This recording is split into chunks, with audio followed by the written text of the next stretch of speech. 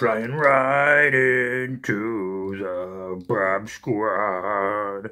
I'm flying right into the Bob Squad. Thanks, singing Land Shark. Bob Squad, how the hell are ya? How's tricks? How's the kids? Some weather? Bob? Yeah, yeah, yeah. I'm not. I have a need. A need for speed. Okay, enough. Thank you very much, singing Land Shark. What are we doing today? Normally, we're talking about He-Man. Normally, we're talking about the Transformers. Normally, we're talking about G.I. Joe. But you know what? We're doing something a little bit different. We are talking about Matchbox Top Gun. Whoa, what is this here for? This is pandemonium. This is anarchy. This is chaos. This is nonsense. This is tomfoolery, chicanery. We're being hoodwinked, flim-flam, shim-shammed, and bamboozled. And at the end of the day, when it's all said and done, there's nothing left to say or do. It comes with a handle for the stock boy, a stock person, excuse me. Um, why do I have this? Okie dokie. In the Sunbob G.I. Joe universe, um, I'm clearly never going to get, nor do I have a desire for the USS Flagg. It is absurd. Um, even if money were not an issue, and it's totally an issue, uh, space is, is a very difficult issue with me as well. As you can see, this place gets less and less organized every time I do one of these. And that's becoming a problem. So no extra 7 feet uh, aircraft carriers are coming into this place. However, I thought it would be fun for the, the Sunbob G.I. Joe universe to at least have a representation of it, and we can play with it and have fun. And uh, just suggest that it's there in that world. And I've been looking around for a long time for uh, small little die-cast models or whatever. And this was the smallest and best option, uh, price-wise and space-wise. So I finally pulled the trigger and ordered this thing, not thinking it was going to come so soon around the holidays, but it did, which is very nice. Uh, as you can see, there's spaces to hold uh, your extra planes. I have an extra plane. I was going to have Skystrikers. You'll notice there's no Skystrikers in, in my movies. You're not going to see, you're still not going to see a G.I. Joe getting in and out of one and taking off. That won't be happening, so don't get hell bent on that. And it was made in China. Made in China. Okay? It's got missiles that are firing off and some storage. Storage is good. And um, generally, I mean, it's shaped like aircraft carriers and it's shaped like the Flagg. There's no 99. I'm not painting a 99 on it. So let's get that out of our heads. But um, I was going to wait, but because it's not a G.I. Joe or Transformers thing, um, I'm just curious. I want to take this thing out. So we will do that right now. Alrighty, Bob Squad, how bad did I screw up? I will tell you. I recorded three fun chunks of me actively reviewing this thing, and there was some kind of uh, coding glitch where, for whatever reason, these three random videos, the middle of the five different big clips I made for this, just won't flat out convert to anything other than audio, and that's kind of worthless. And I did all these fun things that now I forgot what they are. So I'm going to show you this. I put stickers on it, and uh, these two planes are identical. One of them I bought separately. One of them came with the uh, the set here. Uh, I'll take a look at the planes real quick. So um, uh, nothing right home about. Looks exactly the same as the last one I got. Landing gear is identical, and all that good stuff. Uh, they might even be a little bit big for the scale, but here is what I did. I had filmed an entire clip and not realized that there's more toy. Like it, it comes out, it comes out here. You see, so it's actually like, oh god, was it 20 inches long? And um, how awesome that you get just a little bit more Flagg. So in hindsight, the uh, it adds just a little bit more to the scale. I'm sure someone's going to point out, well, no one's going to point out, that uh, the planes are still too big or the aircraft carrier is too small for the correct scale. But whatever, it looks like a big aircraft carrier. Everything's generally in the same place where it would be, and for a few seconds uh, on video, this will make a great Flagg. Um, this came with so many more features than I thought it was going to. Uh, this is simple but effective. Check this out right here. It's just something so simple for me. It's storage. It is... Uh, uh, uh, hang on. Well, it was storage. I was just getting a text while I was filming this on my phone. Yeah. Well, there's a big hole in the back there. So I originally suggested this thing would could probably float, and it could if not for this big hole, and that's where the elevator is. So no, it can't float because it would fill up with water instantly. And so that's going to be the end of that. Oh, there's two holes here. How about that? So I can put stuff in there, like the planes that keep falling off. Oops. Oh, watch out for that here. Okay, and there is a lever right here to, to lock this thing. So if I hit it there, now it's sturdy. Okay, it's got a little shake, but it's sturdy there. So I'm going to tighten this guy back up. And this will be great because space is a problem, and that's another reason I, I hesitated. Uh, I'm pulling the trigger with this, but I'm so glad I did. Came with a few stickers. There's some Top Gun stickers, which I might have thrown away. I am now I'm becoming certain, and I was hoping I didn't miss one for the, the front here. Pretty sure I didn't, but uh, who knows? And it looks like something should be there in this front building, but nothing is. Uh, so we're gonna have to use our imaginations. This is the only uh, extra delicate part. It doesn't affect me much, but I can't see a kid playing with this because this thing falls off like really, it doesn't really clip an all so well. Nothing too crazy going on here. Um, there's some stickers. You can see the silhouette of a giant man, apparently. And there's a little radar and a thing that twists around. Some satellite dish so they can watch pornographic films, I guess. I don't know what that is for. Unless I'm not clipping it in good, but or clipping it in well, excuse me. But I'm pretty sure I got it in. You know? Eh, eh. Well, let's move around just a little bit here. Okay, well that happened.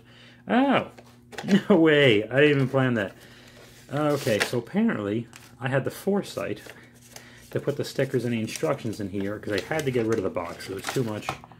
And there is nothing that would go on a front. I was right. But still, I needed to know. I needed to know, damn it. This elevator right here. Um, no locking mechanisms or anything. It just kind of goes up and you just shove it and it goes down. I'm hoping that stays up for some substantial period of time. There's the instructions. Um, so there, there you go, right there. So, here, burp, burp. come on, come on. This is hard to do with one hand, but it stays up just well enough. Again, for my purposes, it's perfectly fine. And what else is going on? So they have these missiles here too, and it's nice it gave me a little bit of defense because the USS Flagg had uh, a hell of a lot more guns than this. But it gives me a little something where I could say, "Hey, it's look, it's it's it's battle-ish." So you just there's a lever here for this missile, lever here for this missile, little orange button there, as you see, oh button, excuse me, and an arrow. look out, Bob Squad, it's coming at you. It is Coming at you, Bob Squad. Oh, no. Okay. Well, there's one of these. And these plug in. Um, you gotta do a little, do the shape there. Where's the other one? I like to pick up my missiles right away. I don't like to leave them lying around. Um, so happy with this purchase. Again, that don't pick it up by the elevator, but whatever. I needed the Sunbob Universe um, to have a Flagg or something that represents it, obviously. Clearly, we're not going to see any G.I. Joes getting in and out of this thing.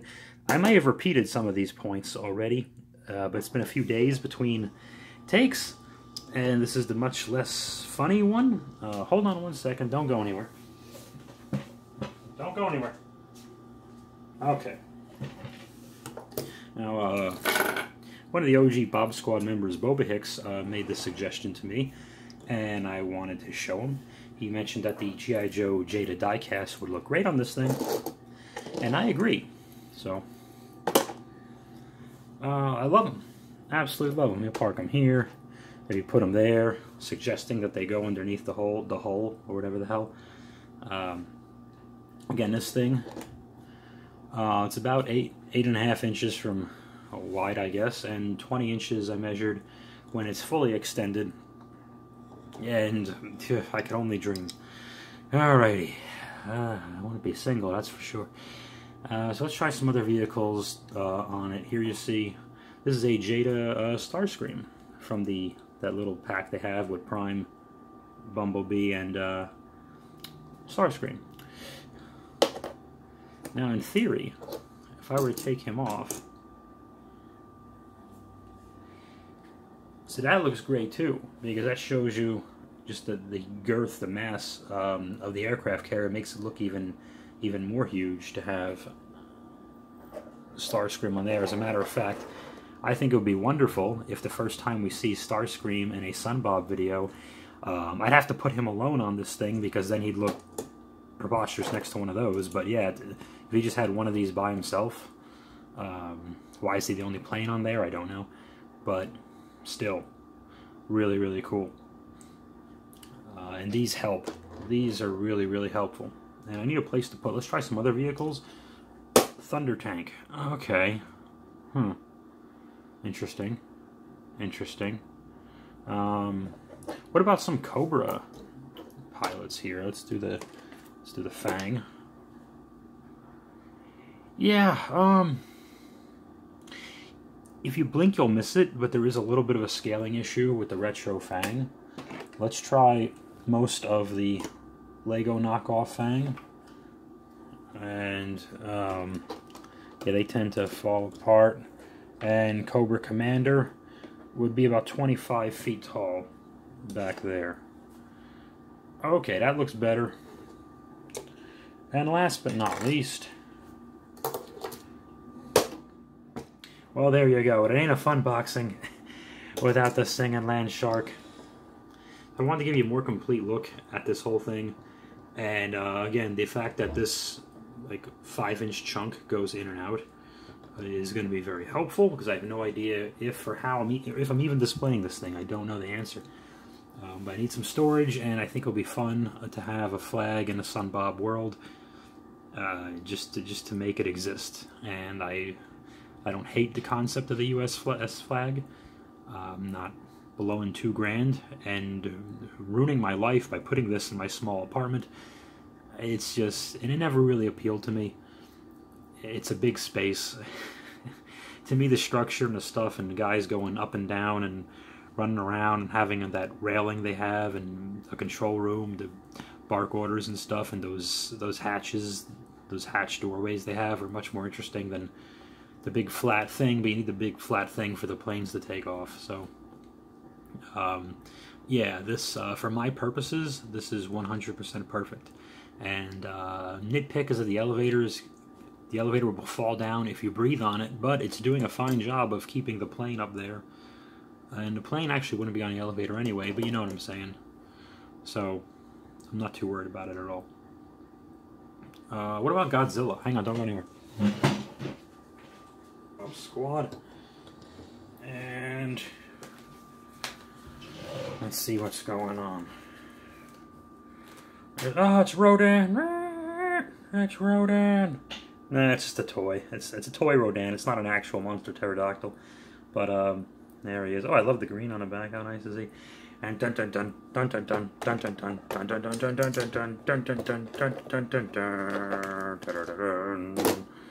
Ding, ding, ding, ding, ding, ding, ding, ding. Okay, are we done? I think so, Bob. I think we jumped the shark.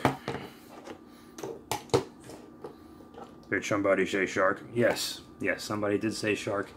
You've lost that love and feeling. Whoa, that love and feeling. You've washed that love and fear, and now it's gone, Bob Squad. Whoa.